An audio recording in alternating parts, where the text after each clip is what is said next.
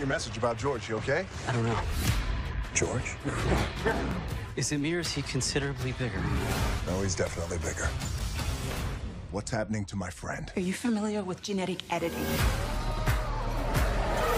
Someone's mutating animals into monsters. No!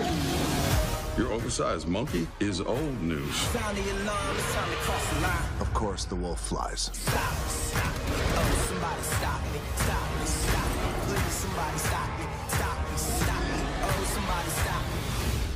save the world. That's a big arm. Don't fight it. You know there are other ways of dealing with people, right? I do know that, yeah, but that's no fun. It's weird. You like hang out with animals more than people. Yeah, well, animals get me. I rescued George when he was two years old.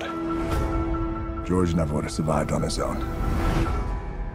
He definitely trusts you. Last night,